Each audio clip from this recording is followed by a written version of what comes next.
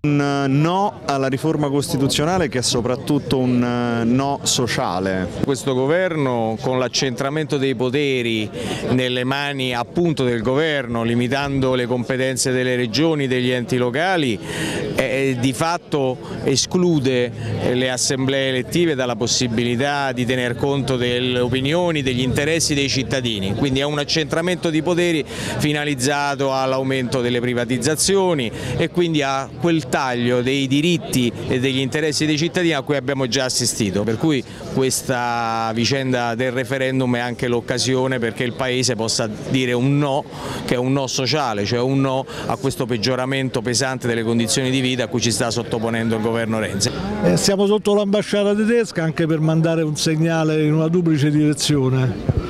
È il primo che non accettiamo ingerenze esterne eh, sulle scelte che riguardano il nostro Paese, tantomeno dal governo e dai ministri tedeschi. In secondo luogo per mandare un segnale su quello che noi riteniamo sia il bersaglio grosso di una battaglia di libertà, una battaglia democratica, una battaglia popolare che sono i vincoli e la gabbia dell'Unione Europea che a nostro avviso è il vero mandante di questa operazione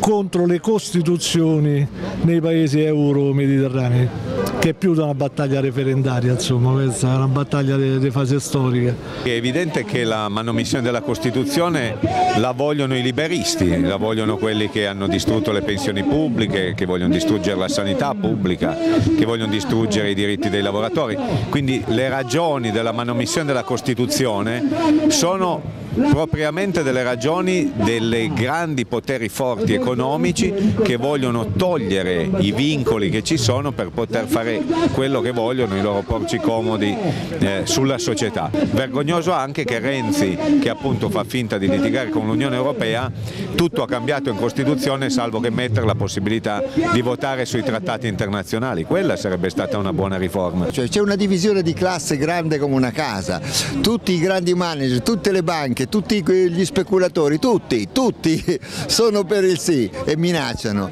Il popolo è per il no. Speriamo che il popolo eh, sia così forte da reggere la pressione di questi ultimi giorni perché mi pare chiaro che stanno giocando sporco in tutti i modi, con la televisione, con i ricatti, con, eh, con i trucchi, eh, con tutto. Vogliono vincerla a tutti i costi perché, perché vogliono la loro Costituzione, la Costituzione che dice che non c'è più il popolo ma le banche sono sovrane.